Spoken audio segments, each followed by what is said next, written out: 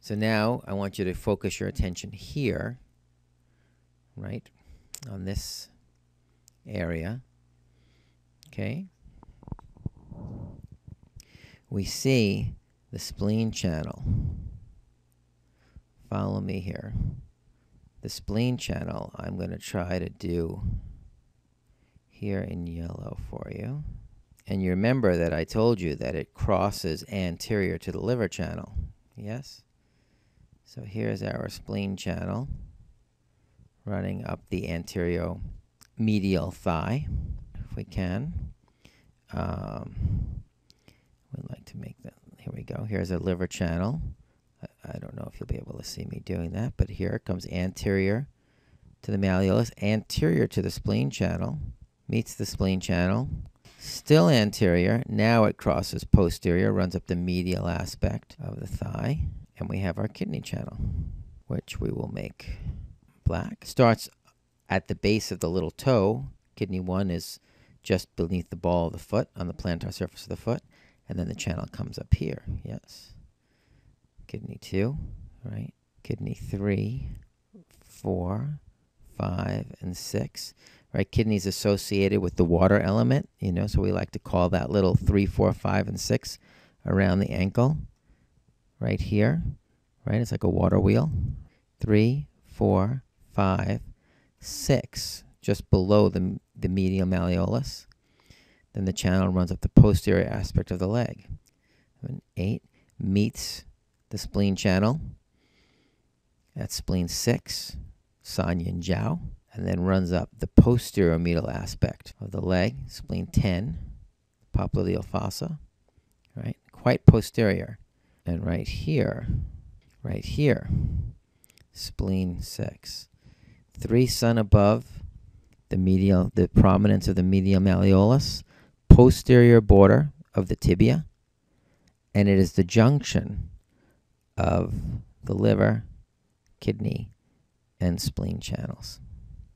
Right? So we have effect on all three channels.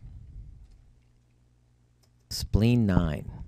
Yin Ling Guan. Yin Mound Spring.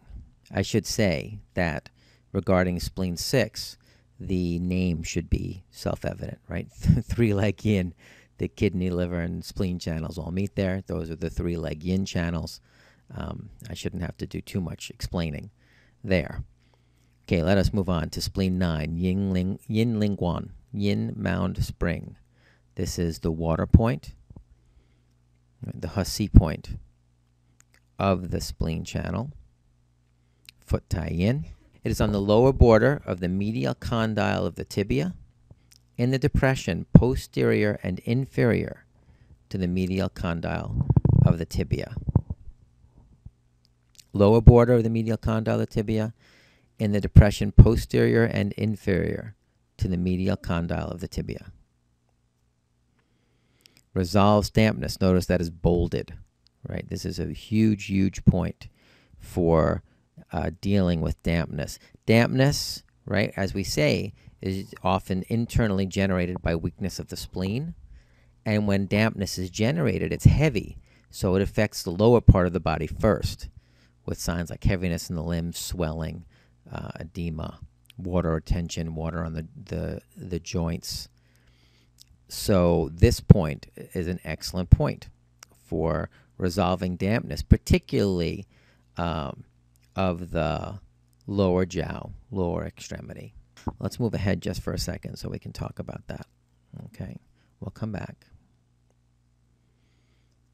Okay, so we have a little illustration here. Yes, the three He-sea points of the three leg yin, right? Liver, kidney, and spleen, right? All water points, all dealing with accumulations of dampness. Spleen 9, the He-sea point of the spleen channel, foot tai yin, is going to deal with damp accumulation of the lower extremity. Liver 8 is going to be more associated with dampness, damp heat in the genitals and genital region. And kidney 10 is going to be more associated with damp heat in the uh, urinary tract and the urinary system. So that's uh, one way we can think about those. and use them uh, in point prescriptions. And as we talk more later in the semester about the liver and kidney channel, we'll have more specific examples of how to use those. But right now, uh, good to note that uh, spleen 9 will deal with dampness of the lower extremities, lower lower jiao, lower burner. Right, liver 8 will deal more with dampness and damp heat in the uh, genitals, genital system, uh, genital area, and kidney 10 will deal more with uh, dampness and damp heat in the urinary tract. But here is uh, yin ling guan, spleen 9, right?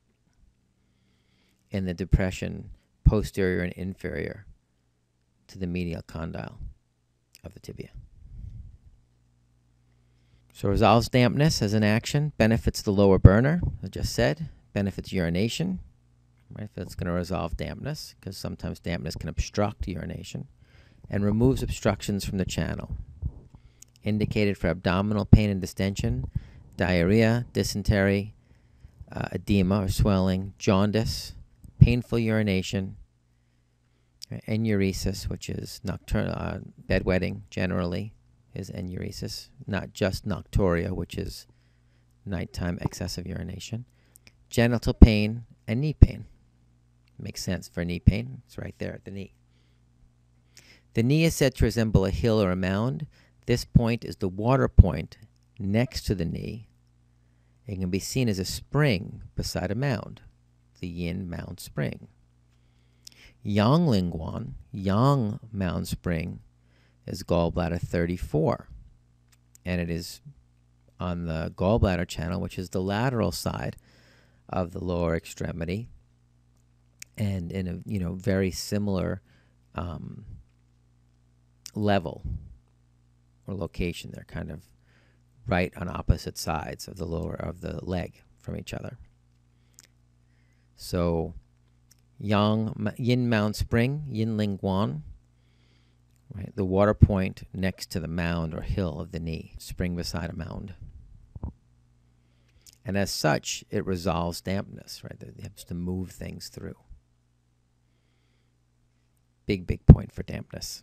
Can't say that enough. And this is a point you, I think, you'll do, use a lot as well in in your um, practice. Spleen 15, Da Heng, big horizontal. Da, as I think you're starting to learn, is big, great. Da Heng, big horizontal. This is a point on the yin linking vessel, the yin wei mai, one of the extraordinary vessels, extraordinary vessels. It's four-sun lateral to the center of the umbilicus, lateral to the rectus abdominis, four-sun lateral to the center of the umbilicus, puts it two-sun lateral to stomach 25.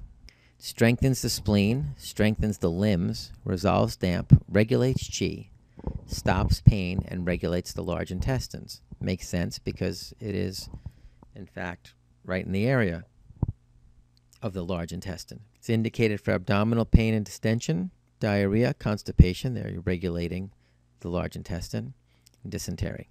Large horizontal is reference to the large intestine, because the point lies over the large intestine, and is horizontal to stomach 25, which is the front mu point of the large intestine. Right. Also lies in the neighborhood of the horizontal crease of the abdomen. Right? If you bend forward, right, you may see a, a crease there as well. But horizontal to stomach 25 in the area of the large intestine, right? Large, big horizontal. Spleen 21. Da Bao.